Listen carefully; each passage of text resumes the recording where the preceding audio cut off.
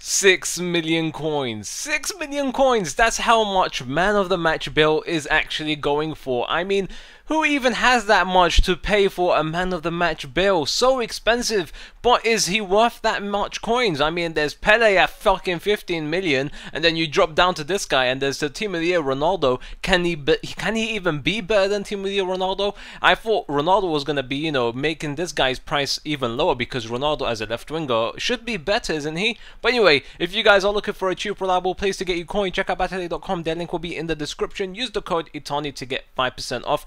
Now, Bale on the left hand side was very surprising for me. Now, as you guys know, I don't exactly like his uh, inform, his second inform, and so on and so forth because they're on the right hand side and I don't find him that effective as a winger. But cutting in with him is going to be way worse on the left hand side, correct? Yep, that is correct because he has that 3 star weak foot, he is left footed and you cannot get any finesse shots in because his finesse shots are pretty damn overpowered. Well, you can't really say overpowered, but they're pretty damn great. But on the le left hand side, it becomes a negative to me. So you're going to have to switch him in position if you want to take advantage of his finesse shots. Now, when it comes down to his long shots, that is a different story now. If you know how to take long shots to the far post, you're gonna love this guy because his shots are so so powerful and you'll see two ridiculous shots. One is like from 40 to 45 yards. It reminds me of his team of the season card that I scored with um, in FIFA 13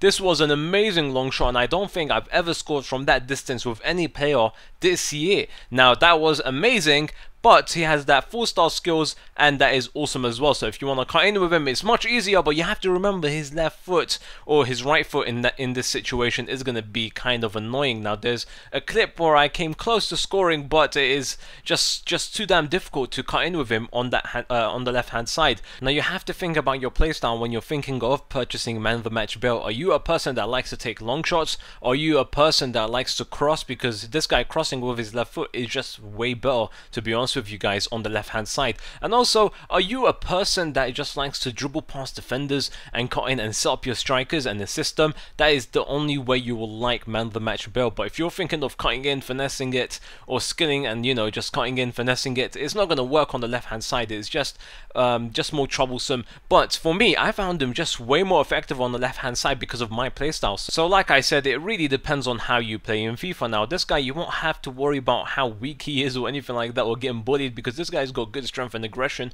and also he's got good interceptions which is surprising. Well actually it's not surprising. We all know he has really high defensive stats but it's pretty good because up forwards you won't really expect it but this guy could be acting like a defender basically. But anyway hope you guys enjoyed this review. If you did I'd really appreciate a like. I found him way better than the second inform in that position. Um, I didn't exactly enjoy Bale in the right winger position but as a left forward he was way better in my opinion. So hope you guys enjoyed it and hope you guys have a very nice day